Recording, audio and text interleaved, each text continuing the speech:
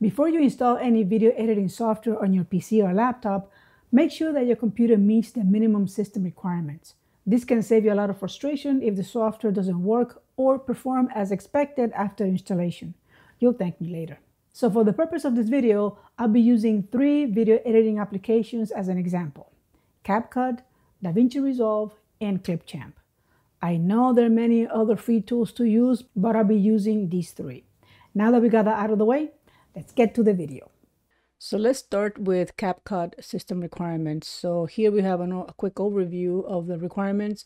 So for a Windows machine, these are the requirements. As for the operating system, Windows 10 or higher, the processor Intel Core i3 or above, memory 4 gigabytes of RAM or above, graphics card and storage space and these are the requirements for a Mac computer. Also for the internet connection you just need standard broadband connection. Check if your computer has or meet those requirements. Now as for DaVinci Resolve uh, here again at a glance operating system windows 10 mac os linux these are the operating system. As for the processor intel core i7 or amd ryzen 7 or higher these are for the graphics card, the system memory.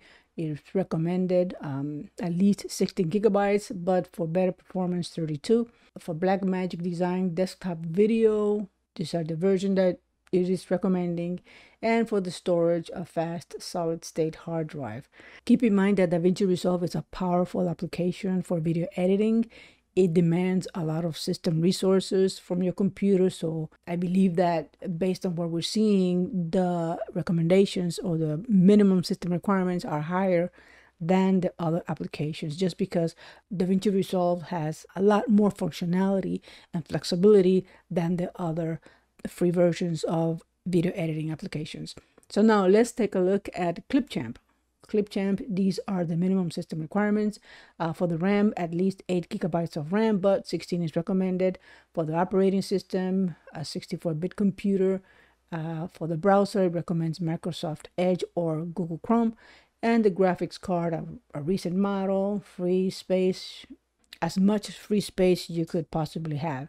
It also it says that Clipchamp is a video editing tool that can be used on desktop or laptop computers, including Chromebooks, it's not optimized for touchscreen devices like tablets or iPads, so keep that in mind. Don't install it on any of those devices.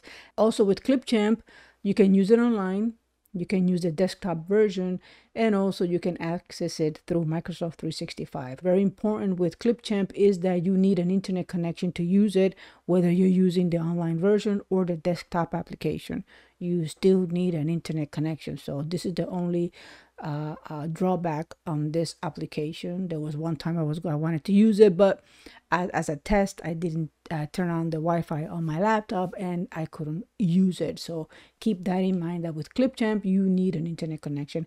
And there you have it, the minimum system requirements for CapCut, DaVinci Resolve, and Clipchamp if you want to give it a try.